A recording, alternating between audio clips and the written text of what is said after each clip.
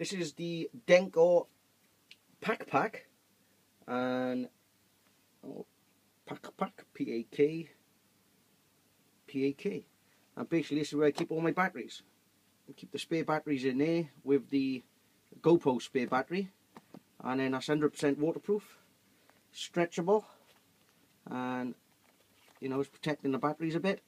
It's quite thick rubber, and uh, it does the job. Fair play. It's uh, it's a good one. Generally on a full ride I only need two spare batteries but I take four because my boy normally forgets to take his. He's not as clever as me. You've probably noticed that anyway. So there you go. Buy on eBay. Keep your batteries in one place, keep them dry, secure and protected.